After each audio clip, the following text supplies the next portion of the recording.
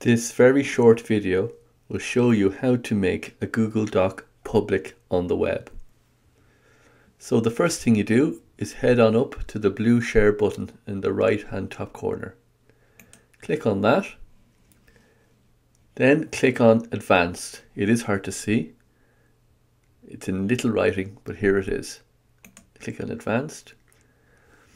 And then you go up to change. At the moment, it's only private and only accessible to me.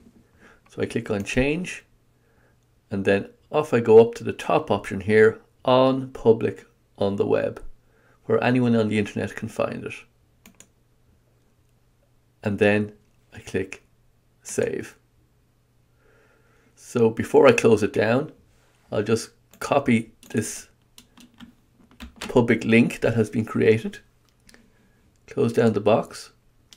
And now to make sure that it is publicly viewable on the web, I'll head on over to another browser where I'm not logged into my Google Docs account and I'll put in that public shareable link, press enter,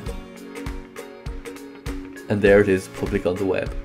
In this browser I'm not logged in and I can actually see that Google Doc publicly now.